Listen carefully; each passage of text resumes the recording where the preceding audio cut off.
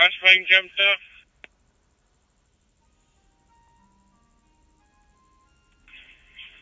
In fact, Jim, can I pull you off of mate? Could you go into MR3 instead? Uh, just uh, make sure uh, rubber gets finished, because uh, Milan says you'll be alright before Donaldson.